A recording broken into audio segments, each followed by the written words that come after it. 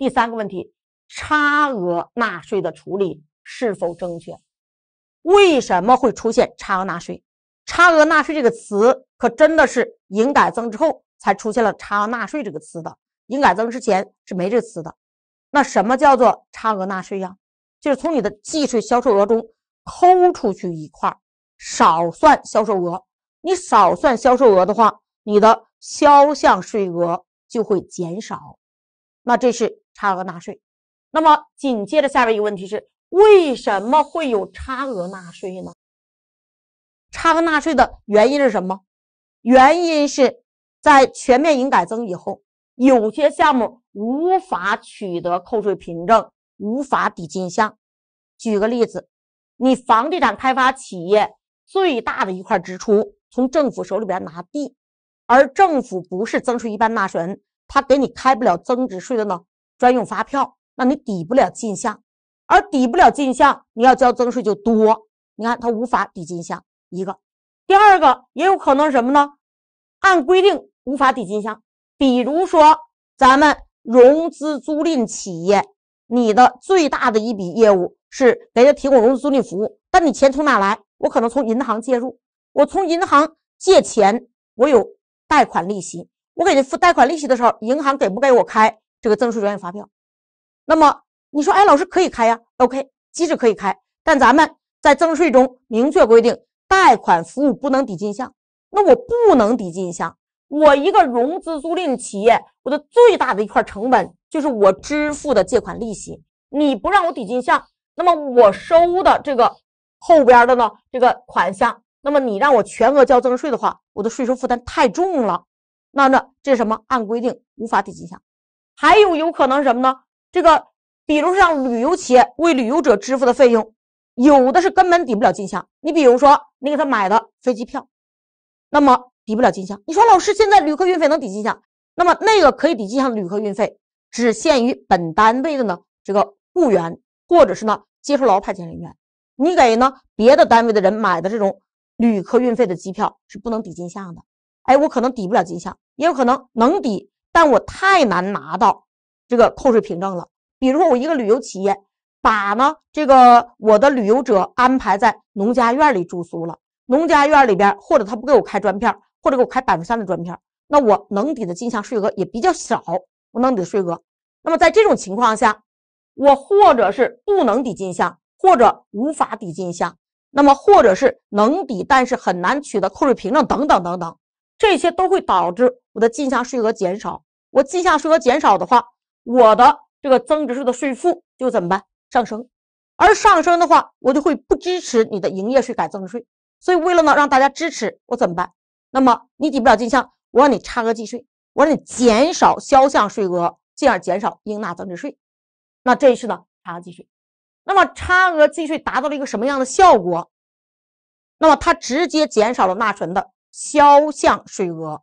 你如果是个一般计税方法，我减少你销售额，我减少销项税额；如果你是个简计税方法的话，减少你的销售额就减少你的应纳税额。所以我也能达到降低纳税人税收负担的呢这么一个目的。好了，那下边咱们差额计税与进项税额抵扣的关系来看一看。第一个效果是相同的，哪相同？效果都是呢，这个能最终呢降低纳税人的税负，但是呢不同之处在哪？不同之处，第一个它账务处理不同，那么账怎么处理就不同了。第二个它的申报表填写不同，我们来看一看。对于呢抵进项和差纳税，咱们以一般纳税人的一般计税方法来做比较的话，来看一看。你要抵进项，咱们应该是你呢，这个呃，你要抵进项，你就减少应纳税额。所以我们的账，你买进一批货是花了一百一十三万，这个价款一百万，增值税税款十三万的话，咱们应该是借原材料一百万，借应交税费、应交增税进项税额。那么什么？增加进项税额，这是抵扣进项税额。而差额计税则是什么？而差额计税则是那么。我呢，比如现在，呃，这里边有融资租赁企业，有融资租赁企业，我对外支付的利息，我拿不到这个抵扣进项税额的原始凭证，或者拿到了，国家说了，贷款服务不能抵进项，那我现在允许你差额计税，允许你差额计税的话，咱们的账务处理就是什么？是借你的呢营业成本、营业费用等等，然后借应交税费、应交增值税销项税额抵减。它减少的什么？它减少的是销项。你看啊，进项税额抵扣是增加进项税额，减少应纳税额，而销项税额抵减是减少销项税额。那销项税额少了，那应纳增值税自然而然会减少。所以呢，两个的这个途径不一样，但最终的效果都是减少应纳税额。那下边你看这账务处理的不同，第二个不同，申报表填写不同，申报表填写。抵进项填的是增值税及附加税费纳税申报表的附列资料二进项税额明细，而差额纳税减少了销项税额，减少了应纳税额的话，填的是增值税及附加税费申报表的这个附列资料三。我们来看一看，一定要注意啊！我前面就跟大家说了，要怎么办？要那个把咱们的这个增值税的呢这个申报表下载下来，你看一看。增值税及附加税费的呢申报表，那么这个申报表里边，这是一张纳税申报主表，增值税申报主表下边有什么？有附列资料一，附列资料一让你写什么？本期销售情况明细，你本期的销售情况。那么有附列资料二，本期的什么？进项税额明细。有附列资料四，他说三呢，一会儿再说三。附列资料四。税额抵减情况表、加计抵减在这写，还有呢，增税减免税的申报明细表。那紧接着你说，老师为什么这不是五？因为原来呢表特别多，这个数字排不过来了，然后就把它呢这个没排数。后来呢删掉了一张表，它其实变成老五了，但是呢是身份呢没明确这种情况。那下边差额纳税写哪去？差额纳税写在附列资料三，服务无形资产不动产扣除项目明细。它呢，税额的扣除使你销项税额减少。好，我们来看一看。来，你抵进项税额的话，那么咱们进项税额抵扣要填的是附列资料二本期进项税额明细。你要填你的什么认证相符的呢？这个专票啊等等进项税额，就是抵进项税额填这两边。而呢，咱们的差额纳税填的是附列资料三服务不动产无形资产。扣除项明细，那么你这扣除项目明细填完之后，这个什么？哎，允许你本期实际扣除多少？这个销售额扣完之后，咱们到哪去？来告诉我，回到哪？回到这个位置，回到咱们的这个本期销售情况明细，你看了吗？我把附列资料三的扣除项目的金额写完了之后，它回到了附列资料一本期销售明细。会使你的销售额、计税销售额减少，从而使你的销项税额或应纳增税减少。这是呢，咱们的这个抵进项和差额计税，咱们再说效果相同，最后都是减少应纳税额。但是账务处理不同，申报表的填写不同，这两者的相同和不同之处，大家呢要能够准确区分。好了，这一个基础知识，我们先介绍这么多，然后我们开始介绍它。的具体的呢，这个抵扣的，就是差额纳税的有关规定，我们一起来看一看。第一个是金融商品转让，金融商品转让，比如说买卖股票、债券，这都属于呢金融商品转让。那么它是按照卖出价扣除买入价后的余额作为呢销售额。比如说你买进来是一百万买进来的，一百二十万卖出的，那咱们就用一百二十万减一百万，这含增值税的。除以一点零六，再乘以百分之六来计算纳税。那么对于呢减计税的话，则是除以一点零三乘百分之三计算纳税。这是第一个。第二个，经济代理服务，比如说我代理报关，代理报关的话，假设我收了你二十万，然后呢我呃交给呢政府机关，比如说海关一些呢费用，那么我应该是用呢这个取得的全部价款交易费用。扣除向委托方收取并代为支付的政府性基金或行政税性收费后的余额为销售额。那注意，允许扣的不是你代为支付的所有款项，而是向委托方收取并代为支付的政府性基金或行政事业性收费。那么这是呢，咱们允许扣除的范围。大家您可以看一看我们前边说的为什么差额计税？差额计税的原因就在于我差到的这部分，它是呢在支付时很难拿到扣税凭证，或者即使拿到扣税凭证，也不让你抵进项。所以我为了避免你税负增加，才让你差额计税。我们来看一看，你金融商品买买卖允许扣买入价，为什么呀？因为金融商品转让是不得开专票，不得开专票，你的买入这块就抵不了进项。这是呢一个，所以我让你差额纳税。你比如说，像经济代理服务中，你付给政府的呢，这种就是支付的呢，政府性基金行政事业性收费，他拿到的是财政票据，它不是专票，抵不了进项，这是呢无法抵进项的。第三个，融资租赁企业，融资租赁企业它怎么做的？我这是一个融资租赁企业，我从那么银行啊等等金融机构借入资金，我买了各种大型设备，然后呢再往外租，其实。我赚的是一个什么？我的融资租赁赚的是利息，那我付的成本更主要的也是一个利息。而贷款服务不能抵进项，贷款服务不能抵进项，我的税收负担就很高。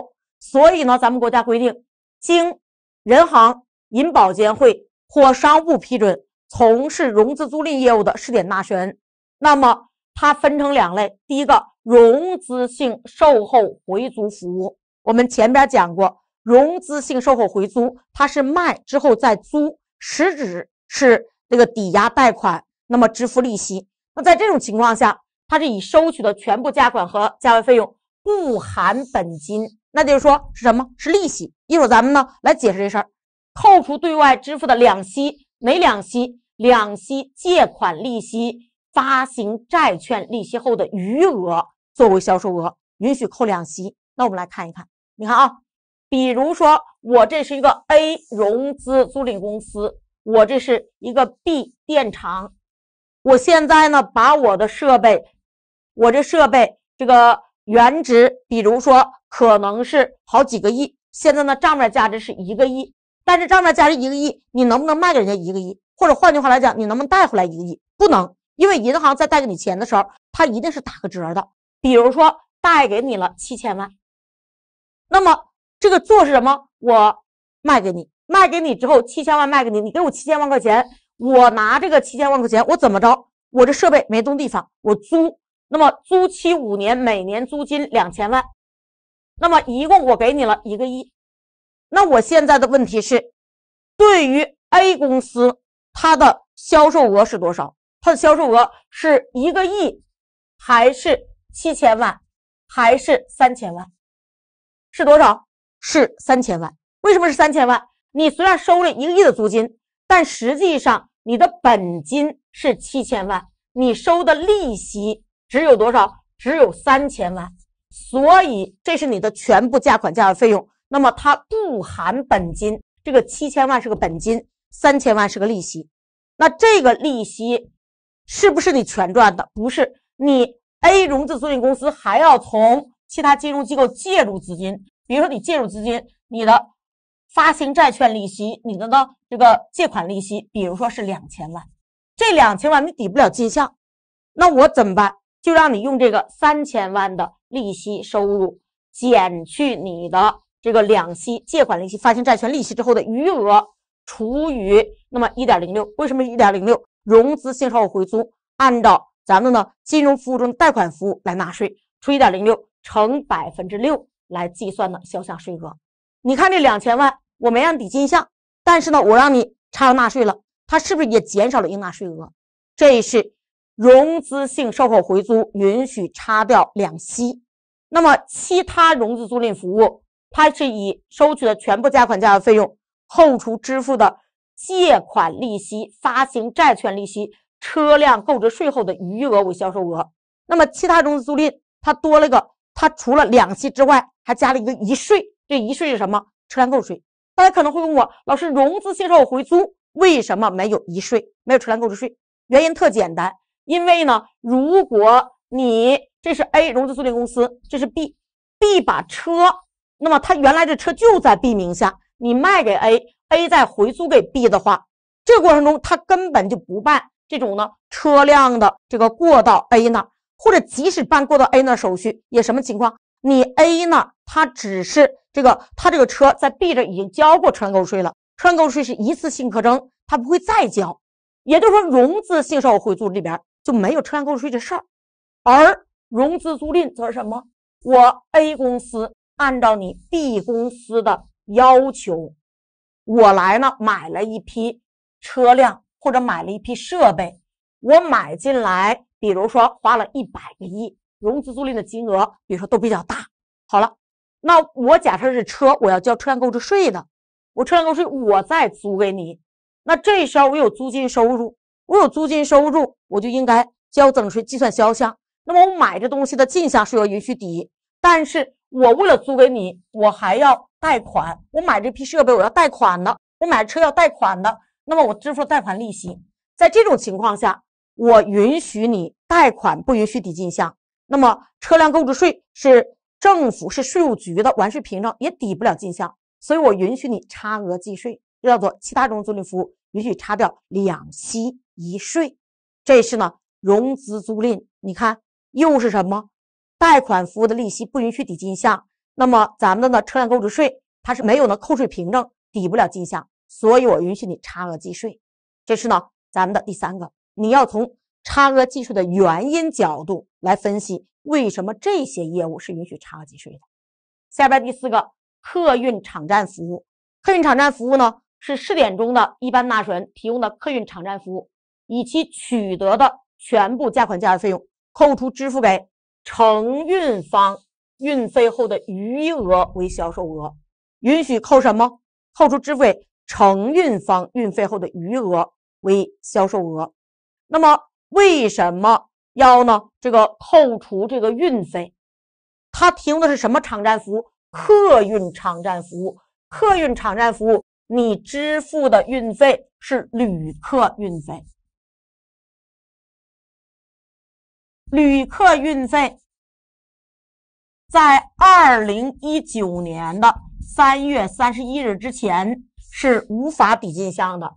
二零一九年四月一号之后，虽然允许抵进项，但是允许抵进项的，旅客运费仅限于与本单位签订劳动合同的员工。以接受的劳务派遣人员的这个旅客运费，那么你的客运场站服务的旅客运费抵得了抵不了进项，抵不了进项，那你的税负增加怎么办？我呢让你做差额计税。你看差额计税它是有原因的，学税收要从原因角度去学起，您对税收的学习才会呢更加透彻。您不从原因角度学，您对税收的学习就不透彻，这大家呢要注意这点。下边第五个旅游服务，旅游服务呢是试点纳税人提供旅游服务，可以选择以你看它是可以选择别人的是什么，直接就差额计税了。它是可以选择已取得的全部价款价格费用，扣除向旅游服务购买方收取并支付给其他单位个人的住宿费。那按道理说，大家说了，哎，老师住宿费能抵进项啊？没错，但在旅游服务中。你的一个大旅行社，比如说国旅呀、中青旅呀等等，他组团了，然后呢，他可能找民宿，找呢那些这个小的旅馆，那他可能只能给你开普票，或者只能给你开百分之三的专票。你虽然能抵，但抵的进项税额很少，或者呢拿普票就抵不了。因此，你可以选怎么办？差额计税就可以选差额计税。你说，哎，老师，我可以，我也可以选抵进项，那没问题，这是你是有选择权的。可以选择差掉呢住宿费、餐饮费，餐饮服务是不能抵进项的，所以你可以差掉餐饮费。然后呢，交通费，那么这个交通费是旅客运费，旅客运费这个旅游服务人员的旅客运费，它抵不了进项，现在我允许你差额计税。那签证费，大使馆收你签证费，咱们呢这个有没有说哎能拿到征税专用呃专用发票抵进项？抵不掉。门票费，大家你看啊。餐饮费、交通费、签证费、门票费，那这都是根本就拿不到进项税额抵扣凭证，或者是不允许你抵进项的，像餐饮费，对吧？那下边你看住宿费或者支付给其他旅游集团企业的呢旅游费，那么有可能你能拿到专票，但有可能拿到的是小规模纳税的百分之三的专票，你能抵进项，但进项税额呢能抵的少。我让你差额计税的话，你比如说你整个旅游服务的收费是一百万，然后呢你差掉了比如八十万，那这时候剩的二十万除以一点零六乘百分之六来计算的你税额，就相当于你减掉了八十万除以一点零六乘百分之六。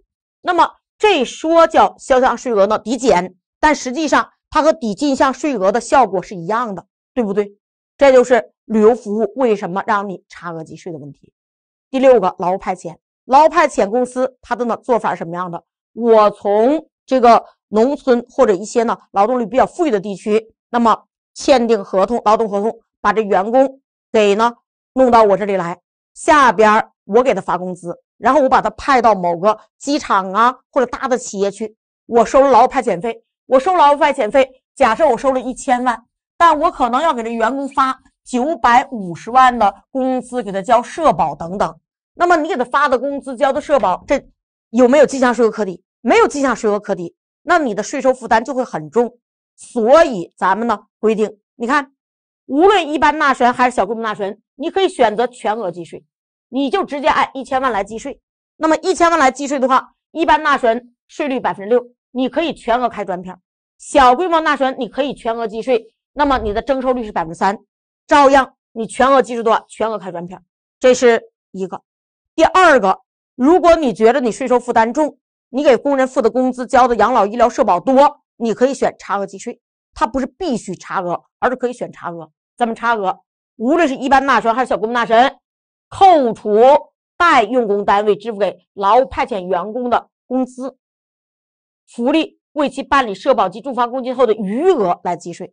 那么也就是一千万减九百五十万，这是个假设含税的话，除以一点零五，这是征收率百分之五。差额计税的话，征收率百分之五，那么再乘以百分之五来计税。这时候你要开发票的话，只能就那个差额后的金额，也就那五十万来开专票。那么那九百五十万扣除的部分，只能开普票，不能开专票。这是呢，劳务派遣，它是可以选全额计税，可以选差额计税。他说：“老师没签过选选全额计税的，那从理论上是有这种选全额计税的可能性的。但是在二零一六年，我们做过调研，选全额计税的不到百分之一。这是第六个劳务派遣。那第七个自来水水费，自来水水费它是提供物业管理服务的纳税人，要求必须是谁？必须是提供物业管理服务的纳税人，可能是物业公司，也可能呢是其他公司，但是里边要有物业服务的资格。”要有物业服务的经营范围，提供物业管理服务的纳税人向服务接受方收取的自来水水费，比如说我收客户了一百万的水费，都是含增值税价格一百万，那么以扣除他对外支付的自来水水费后的余额，他对外付了九十八万的自来水水费，那么以这余额来做销售额计算纳税，那么除以一点零三，因为呢他简易计税的话是百分之三，那么除以百除以一点零三乘以百分之三。来计算呢，它应纳的增值税，这是呢自来水水费它的呢税额的计算，这是第七个。第八一个是建筑服务，建筑服务试点纳税人提供建筑服务是用简易计税方法的，在建筑服务中，你想要差额计税，必须是简易计税。一般计税方法能不能差额计税？不能。那这是采用简易计税方法的，已取得的全部价款价格费用扣除。支付的分包款后的余额，允许用什么？用总包减什么？减分包款。那这个分包款包括什么？包括你支付给分包方的全部价款价格费用。比如说，我让这分包方帮我安装门窗，那我连材料款在呢，工程款等等等等，我一共呢给他分包款是三千万，那么我就减三千万，是支付给分包方的全部价款价格费用的余额做销售额。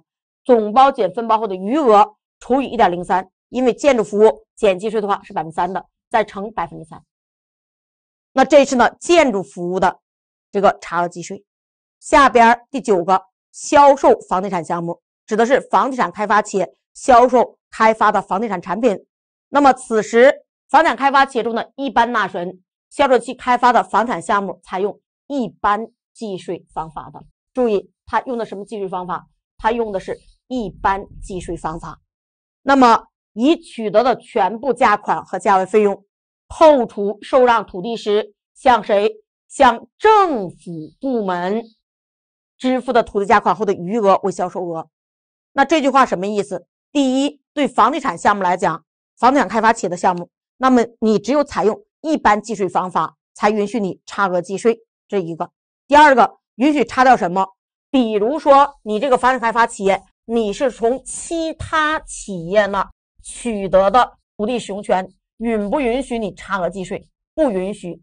那么你只能是从其他企业那儿拿到土地使用权，对方给你开专票，你去抵进项。那么第二个，你从政府手中，你拿到了这种呢这个土地使用权，你支付给政府部门的土地价款，允许你差额计税。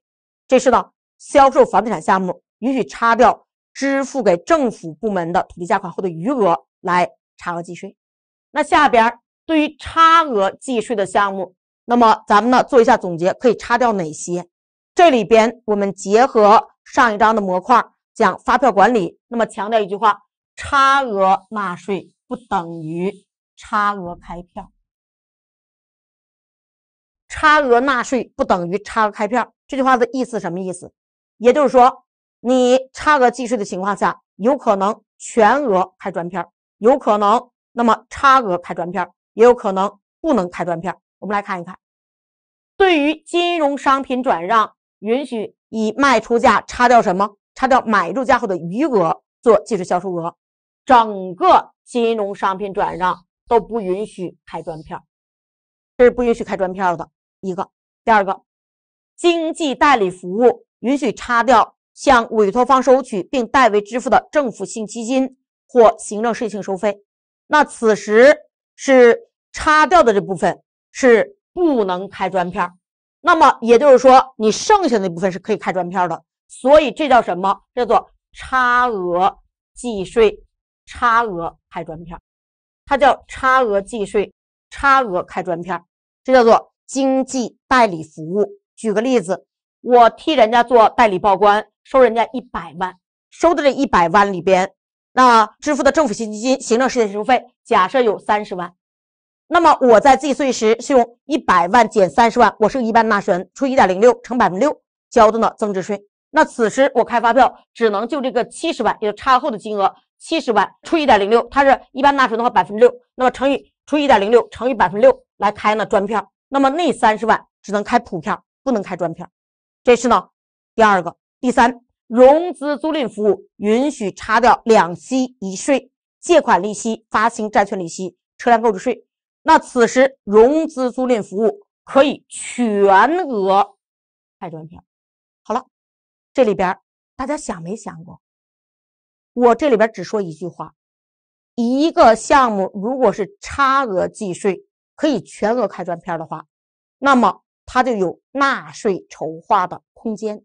我再说一遍，一个项目像融资租赁，那么它如果是差额计税，全额开专票的话，就有这个什么呢？纳税筹划的空间。大家你可以想想，为什么很多大的企业集团？那么越是用设备多的，像电厂，那么都有融资租赁公司；像金融企业，像公银租赁等等，很多也都开了融资租赁公司。为什么？因为它有税收筹划的空间呢。来，我们举个小例子，这个小例子可能呢，这个大家呃一知半解，没关系，你有这么一个意识就 OK 了。比如说，我从外边买一个设备，花一百个亿。那么拿到十三个亿的增值税呢进项税额发票，我这是一个电厂，那我下边我为了买这个设备，我找银行借钱，我找银行借钱付给我找银行借了一百个亿，假设我就借了一百个亿，我付给银行的利息，我假设付了三年的利息或者五年的利息，我付了十五个亿的利息，那么我这十五亿利息我能抵进项吗？不能抵吧，对不对？我抵不了进项。我只能抵十三个亿的进项。现在咱们换种方式，什么方式？我整个集团弄了一个融资租赁公司，我集团我弄了一个融资租赁公司，然后我呢，这个买这个设备，这是电厂，我这电厂不直接去买了，而是怎么着？而是这家 A 融资租赁公司从银行借入一百个亿的资金，支付了十五个亿的利息，能不能抵进项？不能抵进项。那他说，哎，还不能抵，别着急。然后紧接着我去花了一百个亿买了设备了，进项税额有十三个亿。那下边我把它融资租赁租给了电厂，租给电厂，我得要他多少钱呢？咱说，哎，老师，你说要多少钱？那至少要一百个亿加十三个亿，再加十五个亿。为什么呀？我不能赔钱呢，这是我最基本的本金呢。那好，我要多少钱？我要一百三十个亿。你看，一百个亿加十三个亿加十五亿，我要一百三十个亿。要一百三十亿，这是含增值税的。我交多少增值税？我交。一百三十个亿除以一点一三，因为我是设备的融资租赁，按百分之三交。我的销项税额一百三十个亿除一点一三乘百分之三，这是我的销项。那么我的销项税额是电厂的进项税额，所以我的销项是它的进项，这两个抵掉了。那我整个集团，那我实际上是什么结果？大家你可以看一下，我融资租赁公司我交多少增值税？我要交增值税是。一百三十个亿，这是我的含税销售额减十五亿，因为利息虽然不能抵进项，但可以差额计税，允许减掉十五亿的利息，除以一点一三乘百分之十三，这是我的销项税额，我的进项税额是十三个亿。好，您把这公式打开看看什么结果？那么咱们把这公式打开的话，来，我再下边一个页。那么我再加一个页，你看我把这公式打开，是不是一百三十个亿除以一点一三乘百分之十三，减去十五个亿除以一点一三乘百分之十三，减去十三个亿。那么你会发现借款利息没让你抵进项税额，但允许差计税了。差掉的这个税额都不是按百分之六差掉的，而是按多少差掉的？按百分之三差掉的。占便宜了吗？来，回头大家自己算一算，占没占便宜？我说这么多，说太多了，就大家说觉得太难了。我这里边说这么多，做一个引发大家思考。我再重复一句话：我们刚刚所说的，一个增值税的规定是差额纳税，但允许全额开专片的话，就有纳税筹划的空间。你看了吗？这个差额纳税，全额开专片，对不对？那这是第三、第四，融资性售后回租允许差掉两息，哪两息？借款利息、发行债券利息。那这里边有没有说它不允许开专片？没说过。但是呢，你融资性售后回租是按照贷款服务交增值税的，贷款服务的税率是百分之六。那么在这种情况下，这个呃，对于呢你的客户购入贷款服务是不能抵进项的，所以你开专票是没用的。我说的话什么意思？就是说，这个融资性售后回租说没说过不允许开专片？没说过。但是购买方由于购进的是贷款服务，贷款服务的进项税额不能抵，你不能抵的话，专票就没用了。所以这里边你就别想筹划了，因为下家不能抵进项的。这是第四一个，第五一个，客运场站服务允许差掉支付给承运方运费后的余额来计税。那这里边没说不能呢，全额开专票。在税法里边有这么一句话：“法无禁止即可行。”只要他没说不允许我开专票，那就说明我可以怎么着？可以全额开专票。这是呢第五一个。第六，旅游服务允许差掉向旅游服务购买方收取并支付给其他单位个人的住宿费、餐饮费、交通费、签证费、门票费和支付给其他旅游集团企业的旅游费后的余额做计税销售额。那么这是呢可以差掉的项目。那此时这个怎么开专票？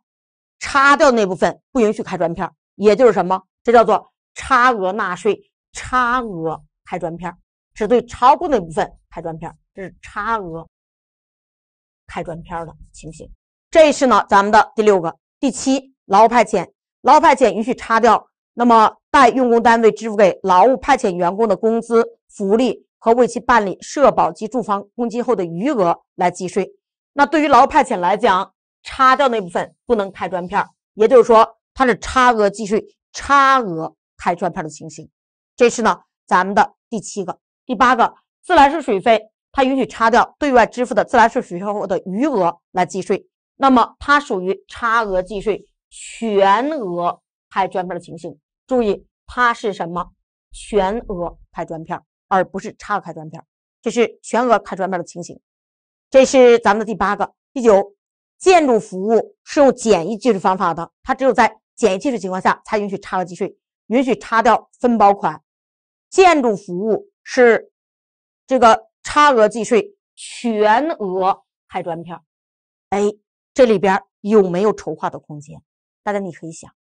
好了，我一个大的公司，我拿到了一个一个亿的项目，下边。我呢找了五家小规模纳税人给我做一个分包，那么每家分包四百万，四百万乘以五，分包出去了两千万，两千万。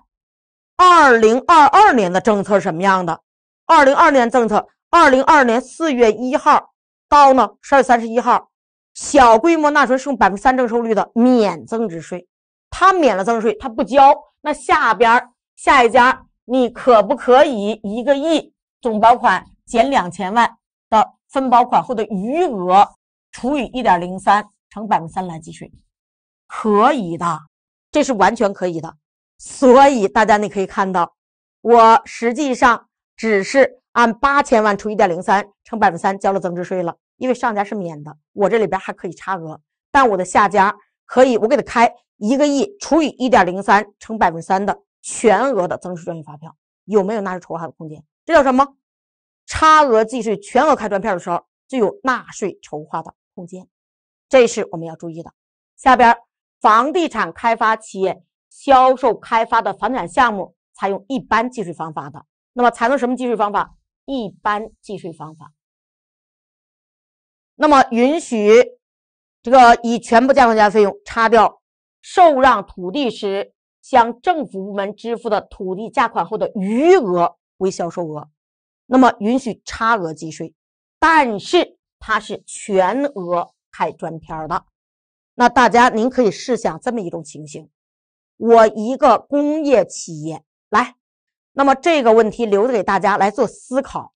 第一个啊，我一个工业企业，我从政府手里边花了一百个亿拿了一块地。然后呢，我拿这块地之后，我就建了一个产业新城。你看，我建了一个产业新城。这个新城我自己用，因为我是一个工业企业，我不是一个房地产开发企业。那我问大家，你从政府手里边拿的这个一百个亿的土地，你可以抵进项税额吗？你不可以抵。你可以差额计税吗？你也不可以差额计税。所以你这一百个亿是抵不了进项，也差计税不了的。那好，我现在我是一个工业企业的集团，但我们下边专门有一个有房地产资质的公司。我再说一遍，我是专门有一个做房地产的公司。那好，下边我做房地产的公司，这样我从政府手里边拿地一百个亿拿的地，我开发完之后，那么我再卖给我的工业企业。什么结果？一百亿的土地可以差个计税，但是我可以全额给下家拍专片。那么这里边增值税中有没有好处？有好处。但你会说，哎，老师，那增税虽然有好处，你还要交土增啊，你还要交这个契税呀，等等。没错，所以你要做一个综合平衡，要算一算你的契税有多少，你的呢土增有多少。哎，你说土增我基本上没什么增值额，那么而且是合理合法的，没什么增值额。那这时候什么结果？那么如果我的契税，我是一个母公司，那么对子公司去做增资，我契税有没有免的优惠？大家您都可以琢磨。税收中可以考虑的东西太多了。但我再说一遍，是差额计税全额开专票的时候，就可以有纳税筹划的空间。这是呢，我们做差额计税的呢一个总结。好了，差额计税这个账怎么做呀？账，你看啊，差额计税，那么你付的，比如说借款利息，你记财务费用；那么比如说你买东西的呢，这种成本你记到主营业务成本里边。你由于差额计税少交的增值税，咱们借应交税费应交的税销项税额递减，那么它是减少销项税额。这种情况，我如果是个一般纳税人，采用一般计税方法，我用的是应交税费、应交增值税销项税额递减。如果我是个一般纳税人，但我简易计税，一般纳税人的简易计税，它应该用应交税费简易计税核算。所以呢，我借应交税费简易计税，应交税费是个负债类科目，它的借方是税额减少，对不对？如果是个小规模纳税人的这个差额计税，咱们借应交税费应交增值税，那么我贷银行存款或应付账款，这差额计税的账务处理，咱们账怎么做？申报表怎么填？大家还记得吗？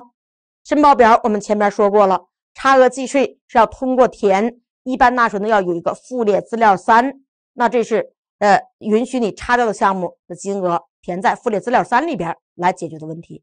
好了，这是我们的第三个问题，差额计税的呢这个审核问题。